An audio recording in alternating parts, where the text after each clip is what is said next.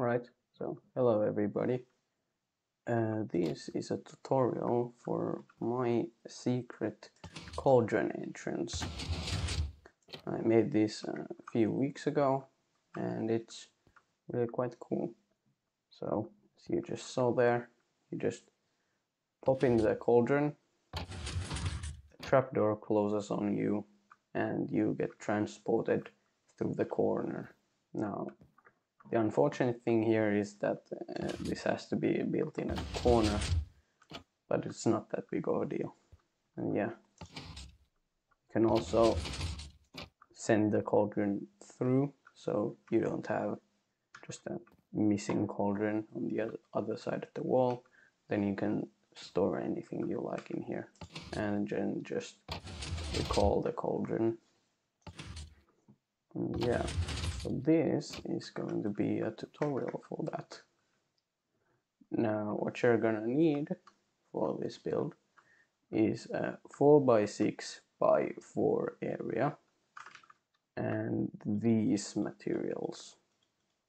This is all the redstone because the blue and orange wool can be uh, just the same block but I'm gonna be using two different blocks then some random blocks for your walls and uh, floor, cauldron, and some sort of trapdoor.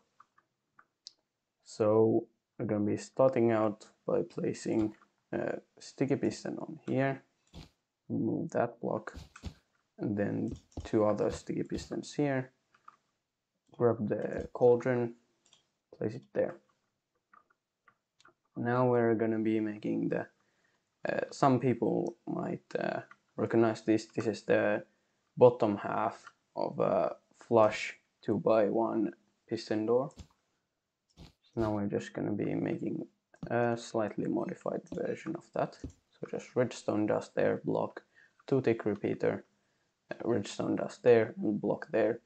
And actually interesting, as you can see, this piston isn't actually getting powered except this redstone dust here, if it's set to the cross, it powers this block, which uh, bud powers this piston.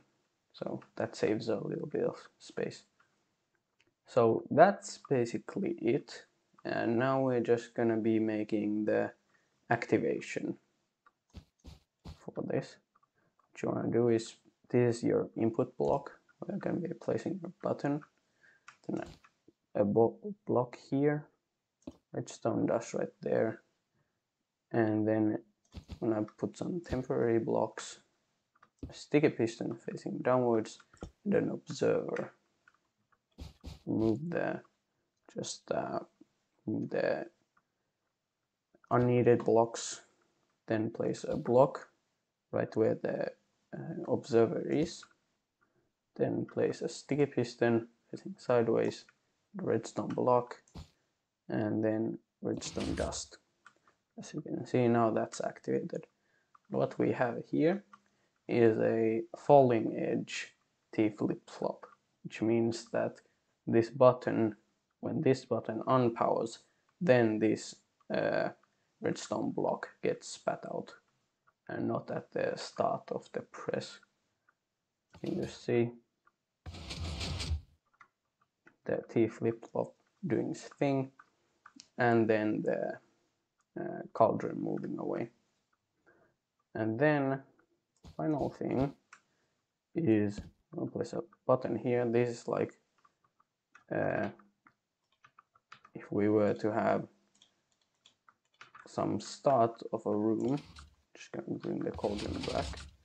As I said, this is gonna be in a corner unfortunately. Now, so it's in a corner. So then send this through and this button is the input inside the corner.